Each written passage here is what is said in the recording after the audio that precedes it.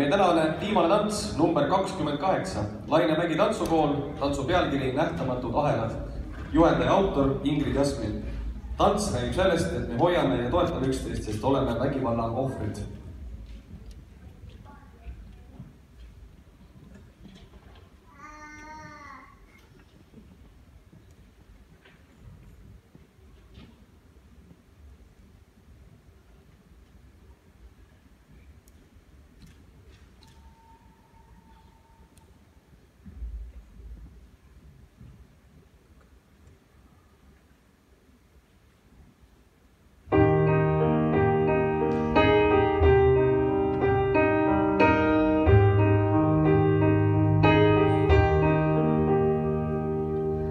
her.